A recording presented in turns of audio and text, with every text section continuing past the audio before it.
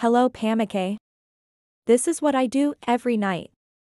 Washing dishes. This is my routine every night. It is my way of releasing stress. From work, they said washing dishes can ease stress, and I think it's true. Based on my experience. Thank you.